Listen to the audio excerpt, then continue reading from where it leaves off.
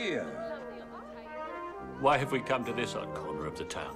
It's Christmas here, too, you know. Uh, that's Bob Cratchit's house.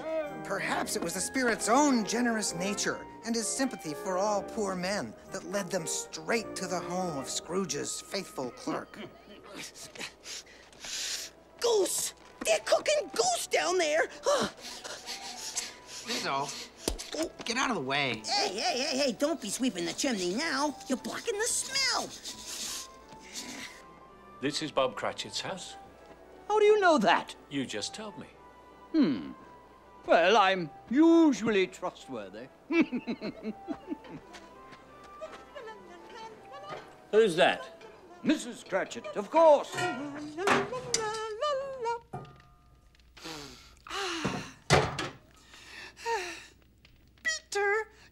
stop turning that spit.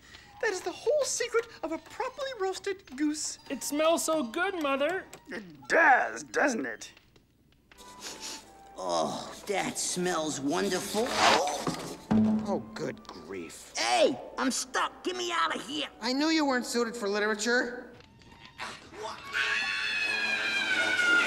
Oh, oh, at least I landed on something soft.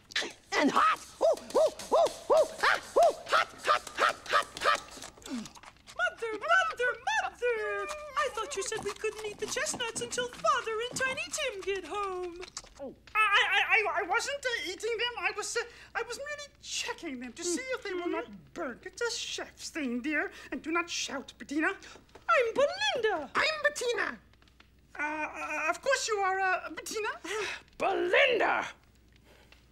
Whatever.